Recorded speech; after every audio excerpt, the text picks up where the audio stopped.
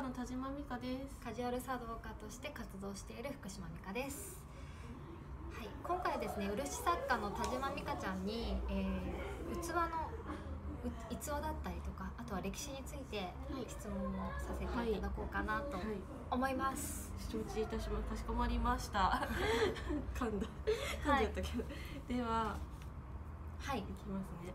漆にまつわる歴逸話というかでかか一個外せないすごくキャッチーな話が一個あって11月13日実は漆の日っていうのがあってその日11月13日が漆の日なんですね。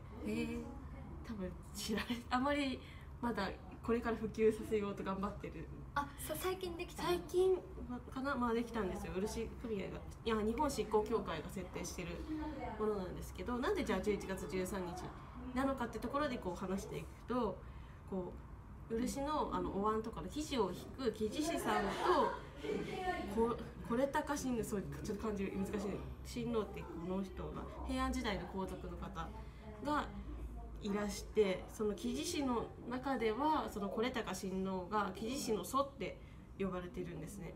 っていうのはなんでかっていうと木地師さんのお仕事に欠かせないろくろこう、うんうんうんお椀とかこうろくろに木をはめてその回転ししてるところにこうカンナを当ててこうガーって削っていくんですけどそのろくろを作ったって言われてるのがこの是高親王だったっていう言い伝えが あるんですよ。へえそう。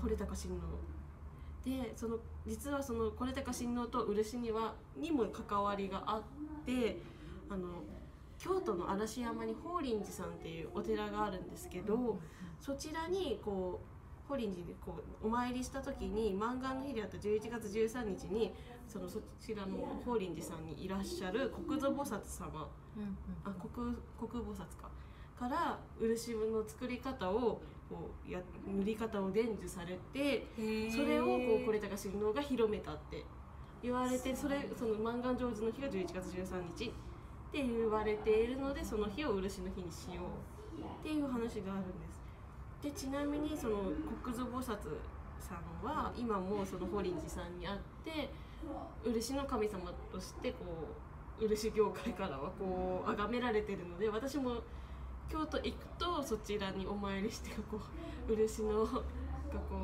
うもっとねメジャーになりますようにとかいろいろお願いをしています。っていうあそう。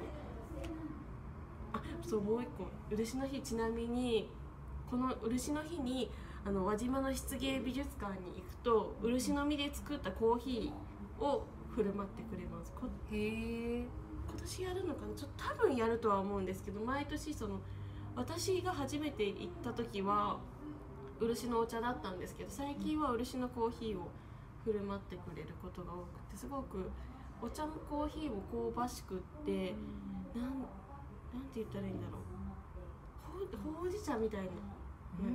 て言ったらいいの？かすごい深い味がした。香りとかも香りも結構うん。お茶はお茶とかコーヒーなんだけれどもなんかあのなんか違うんですよ。これはちょっと11月13日に皆さんそうですね。漆芸美術館にぜひ確かめに行ってください。うどうしてもどうかなって匂いがうんうんうん。お伝えできないので、ぜひぜひ行ってみてね。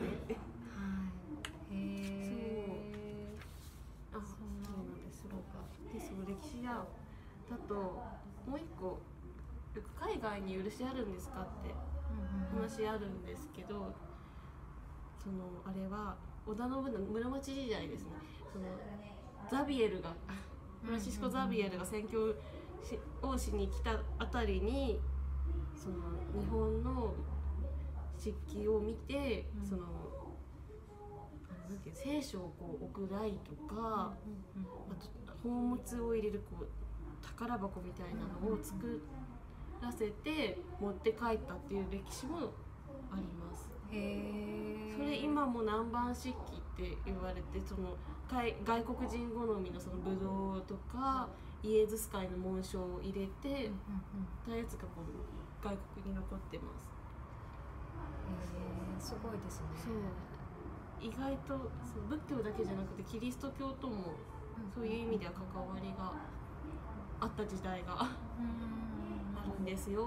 あるんですよ。